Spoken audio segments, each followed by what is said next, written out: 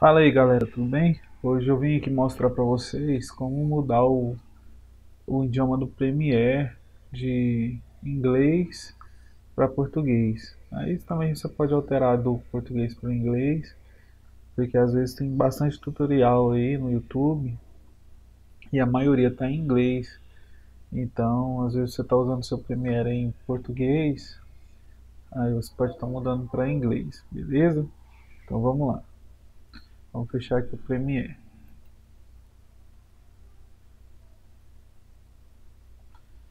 Fechando o Premiere, a gente vem aqui onde eu, no arquivo C, arquivos de programa, Adobe, Adobe Premiere. Aí aqui a gente vem em dicionários. Em dicionários, vem aqui em Português Brasil, PTBR. Aí vamos abrir. Aí aqui nesse último íconezinho aqui, ó, que tá BR e AT, a gente vai selecionar e vai tá mudando aqui, ó, a letra I pela letra D. Aqui renomear Aí a letra I a gente põe a letra D no lugar da I. E dá um Enter. Aqui vai falar, você dá, coloca assim, pode fechar.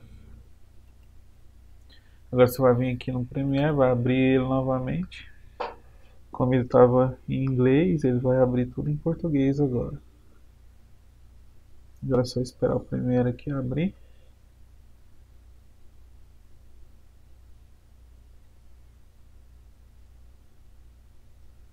Olha só, aqui em cima arquivo, editar, clipe, sequência, marcadores, gráficos, janela e ajuda. Tá tudo em português, beleza? Então se o vídeo te ajudou aí, você deixa o seu like aí, curte o nosso canal, se inscreve aí, que vai estar tá ajudando muito, beleza? Valeu!